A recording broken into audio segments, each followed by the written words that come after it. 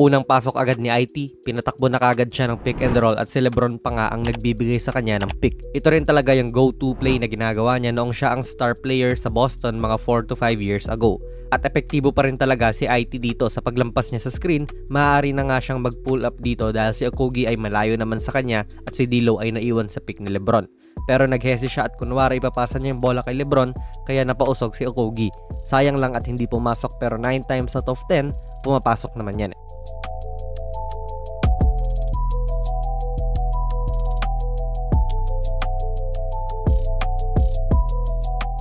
Inulit nila to pero si Okogi ay humarang na talaga kay IT kasi kanina ay nalin lang siya. Naging dahilan niya sa pag-collapse ng depensa kay Lebron kaya nakita niya rin si Melo sa gilid.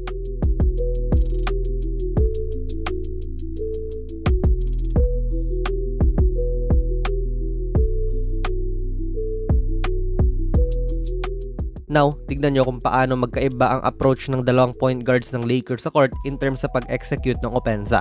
Habang pumaposes si Melo ay dumating ang double team at pinasa niya kay Rondo. Pause muna natin dito. Makikita natin nakakasalo pa lang ni Rondo ng bola, hindi niya iniisip na itira ito. Kahit na si Malik Beasley ay andito pa sa may free throw line. Sadyang ganyan lang talaga si Rondo mga idol. Pass first talaga ang mentality. Sabay noong binigay na niya kay IT, pinamukha naman niya na titira siya. Kaya naging available naman sa kanya itong floater. Para sa magaling syempre, pero iba lang talaga ang diskarte nila bilang mga point guards.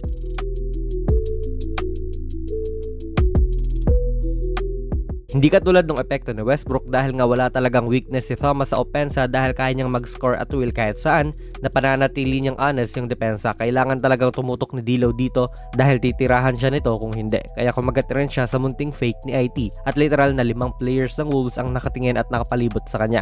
Itong player na to yung sinusukuan na ng mga teams at halos manlibos na sa mga teams na kunin siya.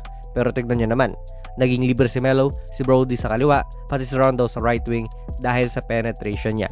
Ang ganda ng whip pass niya kaso nga lang hindi pumasok tong tira ni Rondo.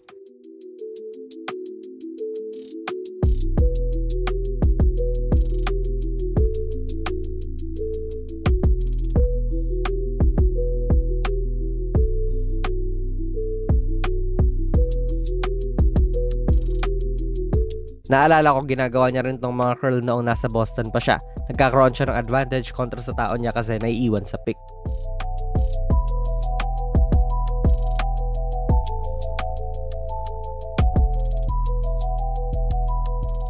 Overall, okay naman yung naging season debut niya sa Lakers.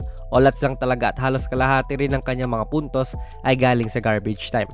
Pero ang importante ay kayang-kaya pa rin talaga niya mag-contribute kung mabibigyan siya ng tsansa yung instant offense niya na laro ay makatutulong talaga sa kahit saang team kapag hindi in-extend ng Lakers ang kanyang 10-day contract. Pero sa ngayon, syempre, nakatutuwa talaga makita to, lalo na at inspirasyon siya sa nakararami dahil nga sa puso niya sa paglalaro at hindi rin talaga siya sumuko kahit halos wala nang naniwala sa kanya.